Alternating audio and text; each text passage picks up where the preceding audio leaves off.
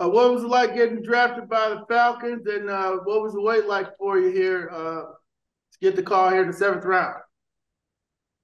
Um, the call, just getting the call in the seventh round, um, it felt amazing. Um, my whole family was here, mom, dad, grandparents, um, brothers and sisters, my fiance, and everybody.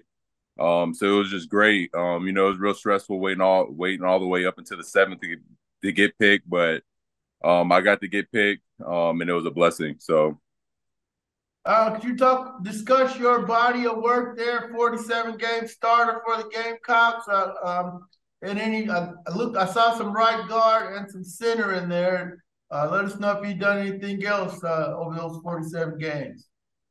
Um, yes. So, um, first year I didn't play. I got injured my first year of um college. After that, I started the second game the next season, and I started ever since. I played left guard my first year.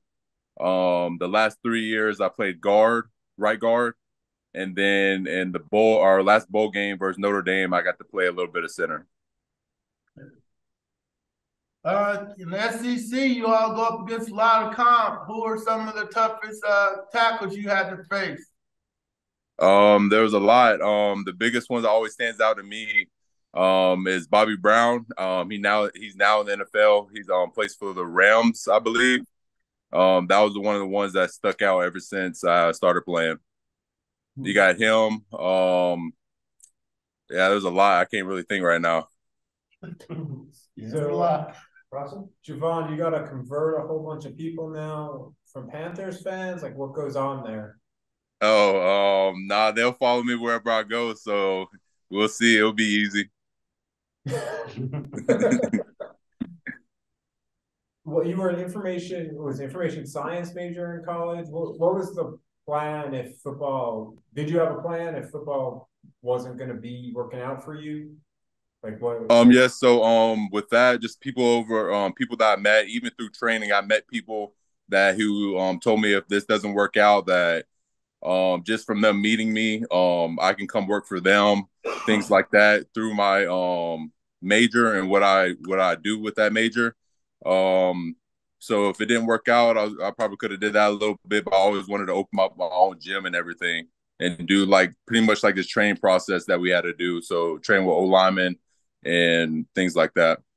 Was that what kind of when you were studying where you were heading? I guess or you said what?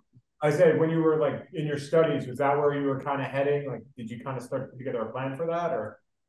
Um, I always wanted to be a um like do that the training stuff, but I knew that would come later on. But um, information science was like a, another backup.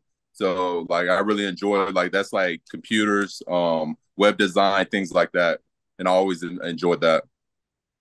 Thanks, Carlos. Did you um did you have talks with the Falcons, and if so, did they did they talk to you about the um where they see you? Um, I know some project that center might be in your future, but did you talk with the Falcons about that? Um, I'll play whatever they need me to play. Um, I played guard. Um, I showed that I can play center. So if I had to um, go play center, um, I can play center also. But I haven't really talked to them about it. Um, so we'll see once I get there, and I'm willing to do whatever they ask me. Josh. Hey, Jovaughn, congratulations. Appreciate you what were your expectations coming into the draft as to where you might go? Um, excuse me. I said, did you have any, or were you just pretty wide open to whatever whatever might come? Um, I I was hearing a lot third day, so I didn't know when third day. Um, I was hoping earlier than later, but um, I left it. It's always God's plan. So you know, like I, I just didn't question it. Whatever, however it came, it came, and I just have to continue with that plan.